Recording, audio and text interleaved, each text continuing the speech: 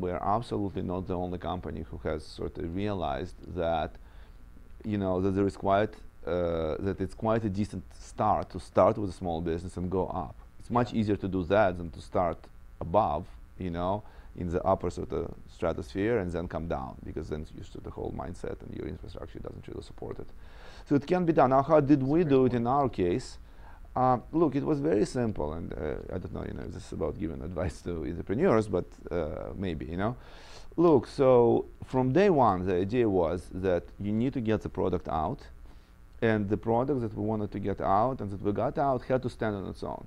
So it was always the there was always this realization, and if we had any religion, the religion was, hey, uh, the product has to be usable and deployable immediately by the end user. Okay, uh, okay, end user being a company, as yeah. being a small company.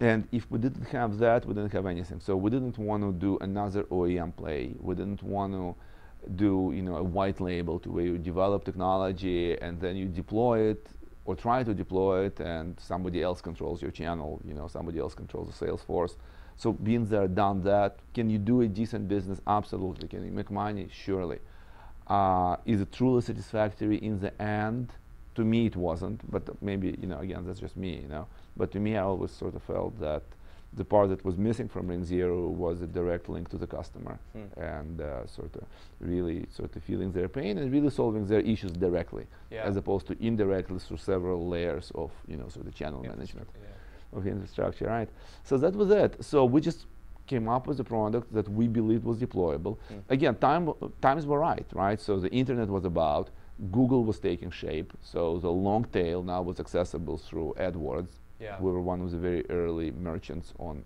on, on Google. Yep. And uh, for this the longest time. This is in 2003, 2004. Yeah, right? yeah, exactly right. And um, you know, we weren't the only ones, but we were sort of early enough, you know. Sure. And um, you know, it actually worked for us, right? So we were able to get the word out, and if somebody was looking for a you know toll-free number or a voicemail system or a fax system in those days, you know, would be easy to find. You optimized through search. We optimized through search initially, uh -huh. and it worked well for us. So that's how we got our few hundred customers and then thousand customers and so forth.